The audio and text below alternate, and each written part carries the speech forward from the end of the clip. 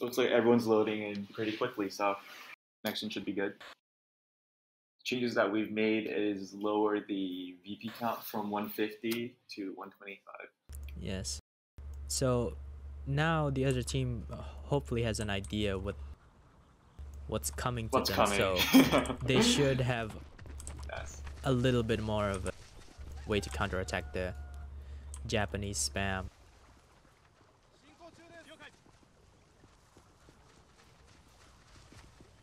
Oh, Looks I, like the Americans are starting with um, armored riflemen, um, a rifle squad with a bazooka.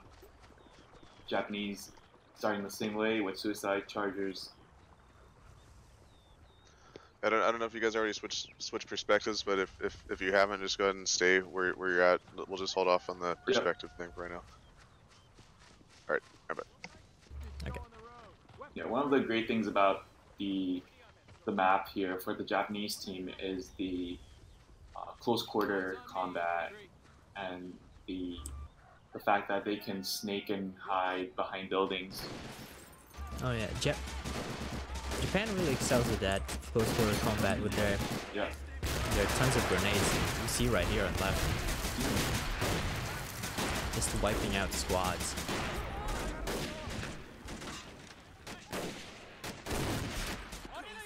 And a suicide charger squad is like 125 MP compared to 150 of the armored riflemen, and rifle squads are more expensive. So they're getting a great trade, even Yeah. if they lose more. Definitely getting great value here. Mm-hmm. Losing about let's see, three American soldiers to like one every suicide charger is very big value. Yeah. And it's not only the kills they get, but the map control and the presence that they achieve through the rush. So even if they achieve a negative KD and they don't trade positively in the beginning, the fact that they're able to get such map control and bring up better units afterwards is um, is very key.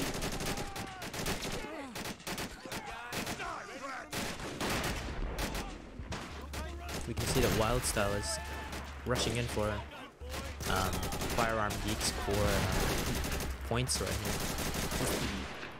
Just rushing into his infantry, no care for their well-being whatsoever. Yeah. So we've got Fire here bringing out a mobile 50 cap. Uh, I mean, like, uh. Hopefully that's going to help push back and hold their hold the line. The most important thing for the Americans when facing, or any factions facing the Japanese, is to have a strong front line. To really stabilize the situation and not panic. Now we see the 20 mils from Japan, some good impl- um, placements of those, and those will do a lot of work. Yep. Let's see, like one right here maybe. 20 mils and SSD. Oh yeah, from spawn bread and butter. Japanese team. Um, great way to counter the the machine gun uh, little trucks and the Maxim, the, the 50 cal.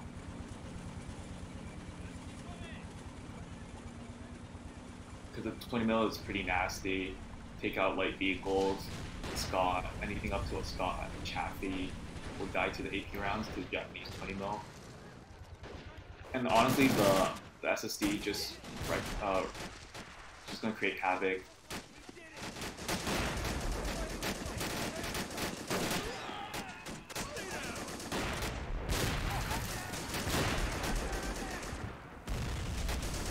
We'll also see if the, the Japanese eye brings out Imperial Guards.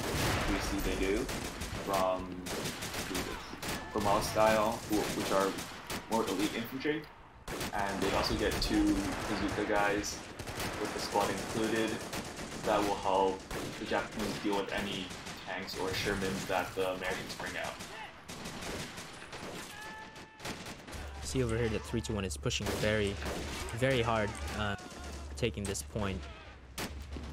Killing mostly, if not all, of uh, uh, Michael Smith's infantry over here. But he will be bringing a 50 cal half track. with armored rifle right inside him to um, kind of mitigate the damage here. Yeah. If you look at the kill feed right now, it seems like it's all blue, blue and Yeah. red. But the um, what the game is showing in terms of the map control tells a very different story. So you gotta keep in mind that suicide chargers basically uh, mean much in terms of value. Yeah.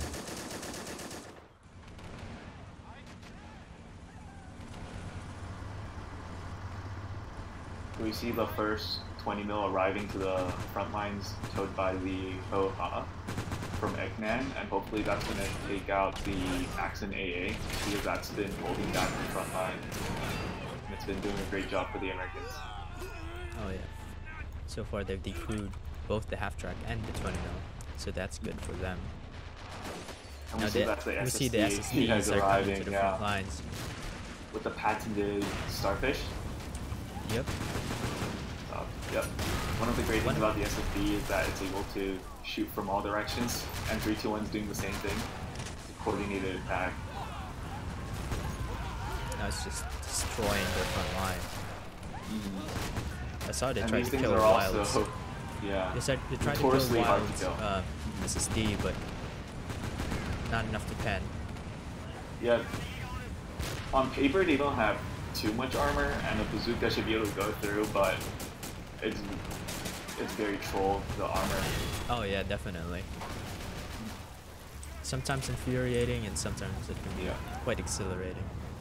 Depends on which side you're on. Depends on which side you're on. And now it seems that 321's SSD has pushed into their spawn, burning out the 57 GMC truck that's just spawned in. So very unfortunate. so we can see another Maxim over here, Yeah. trying to get rid of this Type Type 92.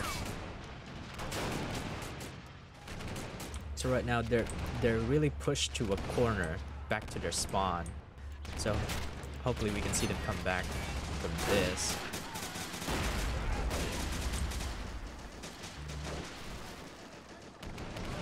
See 321's Imperial Guards are in the front line. He's hiding the AT infantry, the bazooka infantry. The Americans are desperate to hold with their half track, um, their M16, bring out M16, basically needing lots of firepower.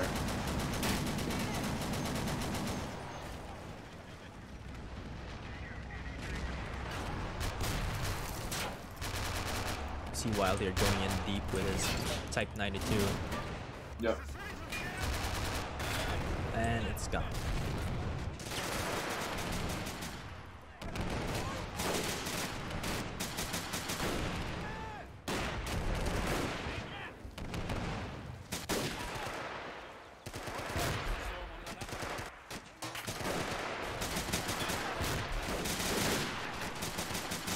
I think And I we're guess- getting feedback from the chat. Shermanator saying that the game audio is a bit loud. Is it? Okay. Yeah, we I can, can adjust that now or in the next game. And we see that 321 is pulling out the RPG from the Imperial Guards to take out some of the vehicles from the American side.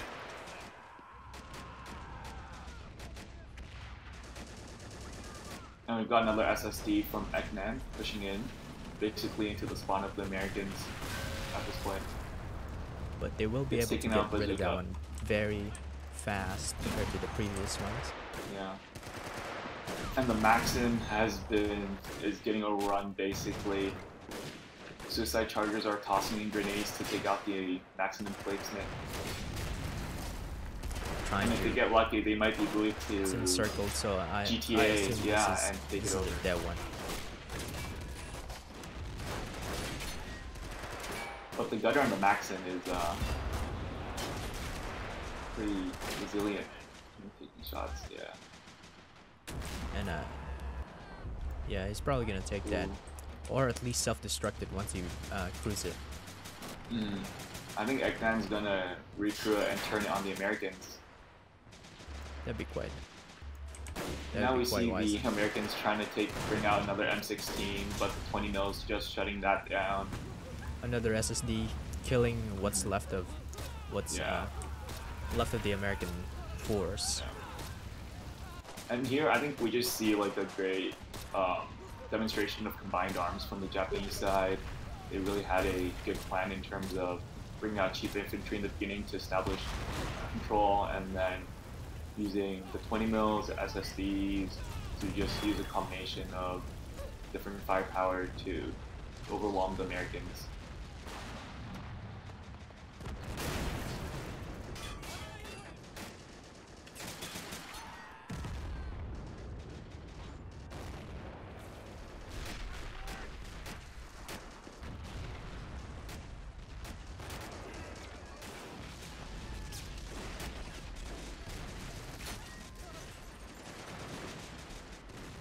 Yeah, and Shermanator, I see you're asking how they are shooting flamers from all those different sides of SSD.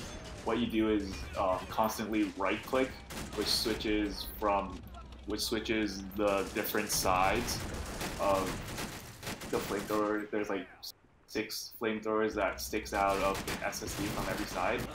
It's five, and then you just alternate between the flamethrowers and keep on left clicking, uh, holding the left mouse button that just creates a circle of flame.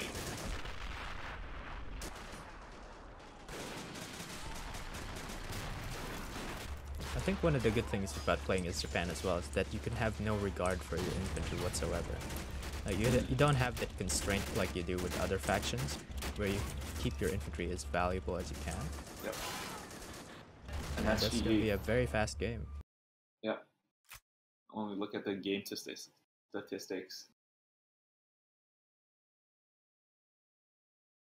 the Axis, the Japanese actually pulling out with uh, it's basically a one to one KD, which is great from a Japanese perspective.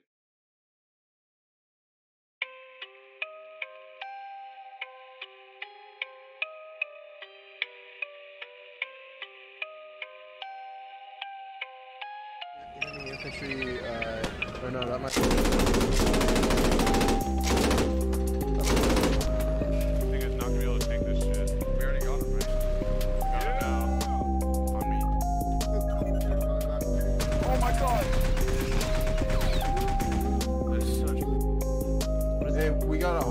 Truck to the south.